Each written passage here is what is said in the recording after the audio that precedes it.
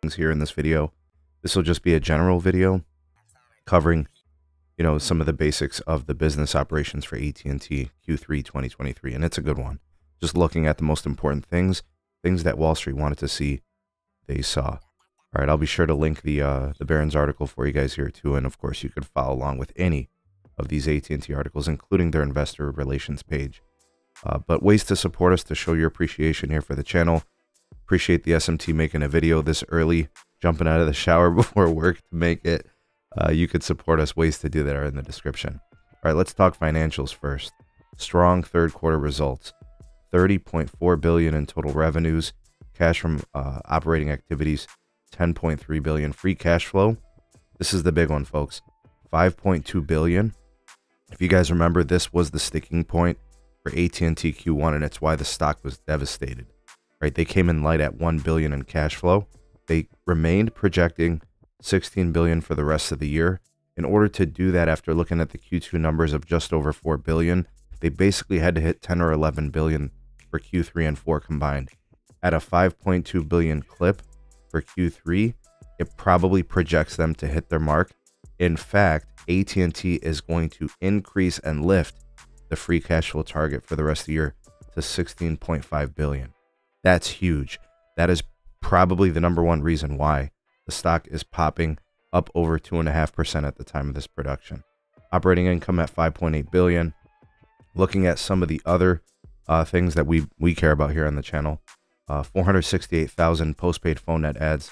I think that's probably above expectation based on last quarter, where they came in light around 300 and some odd thousand phone net adds. ARPU growth is strong, low levels of churn. I, am looking for some of those numbers as I go through this release. Uh, they surpassed 8 million AT&T fiber subscribers. Internet Air is expected to be uh, serving 30 plus more uh, markets by the end of the year, so that should drive up some revenues as well.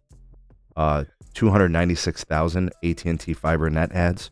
So it looks like wireless strength, it looks like fiber strength. Uh, mobility services are up in terms of revenues by 3.7%.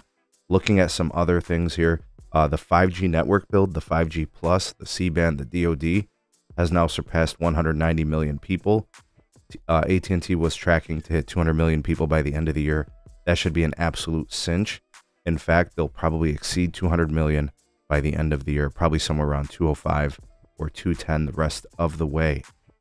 Uh, in terms of AST and Space Mobile, right? They they definitely wanted to mention that for a strength of what they're doing with their net uh, networking.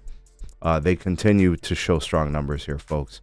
So you've got earnings, you've got financial strength, you've got free cash flow, uh, you've got growth in, in wireless, you've got growth in fiber. I think that's why you're looking at huge potential popping here with the stock today. I'm looking for some other details. It says here there were 26,000 prepaid phone net adds. Again, being very strong in prepaid, this continues to be a strength for AT&T with Cricket. Postpaid churn improved uh, for year over year. Uh, they're at 0.79%. Uh, so that might be industry best. We'll see what T-Mobile and Verizon could do, but 0.79 is very good. Prepaid churn will probably end up being industry best as well at 2.78. That is even lower than last year this quarter. Postpaid ARPU is up $55.99, a modest gain there. FirstNet connections have now crossed 4.3 million. All right, that continues to be a strength for their business. Uh, also, with respect to business wireline, that appears to be a weakness. Those revenues are down year over year. Operating expenses, I think those are improved on that side of the house.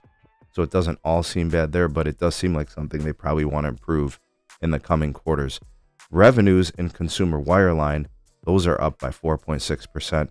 Broadband non fiber revenues, uh, those are kind of a problem. All right, so they're talking about DSL decommissioning. They continue to work through that.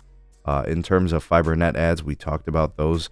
They did have some DSL losses. Uh, AT&T Internet Air customers, uh, they've been adding those. I'm looking for some numbers there. I'm not really clear on that, so that might be something we'll have to talk about later. Uh, but uh, and Latin America looks to be you know pretty muted. Not really something strong for them, but they continue to own it, folks. AT&T had a big quarter and they're guiding up. I think that's probably the most important thing we need to pay attention to with respect to their financials. They hit their mark, they're lifting their free cash flow. That is exactly what the market wanted to see and it's responding with a pop. All right, so what do you guys think of the quarter? I think it's more of the same. I think AT&T is chugging along. They've refocused their business. They've stepped away from media. They've spun off all of that.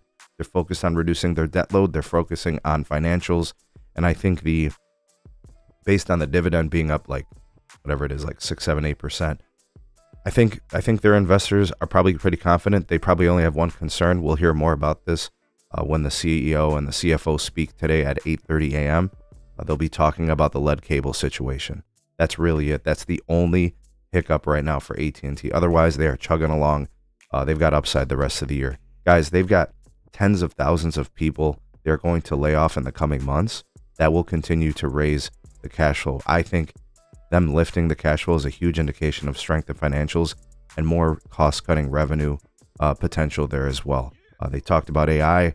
All right, that's helping customer care. It's helping repair and um, scheduling and maintenance. Uh, that will continue to accelerate through the future. What do you guys think? Sound off in the comment section below. You all the voice of the people of the SMT Nation. Let your voice be heard.